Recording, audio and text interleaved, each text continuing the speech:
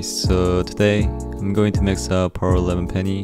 So as you guys know that Penny got completely reworked and she actually got nerfed right away, but I still think she's one of the best brawlers after the nerf. So we're gonna test out with the max gear today. The best gears for Penny should be damage and speed. She already has like over 5k HP, so don't really need shield gear I think.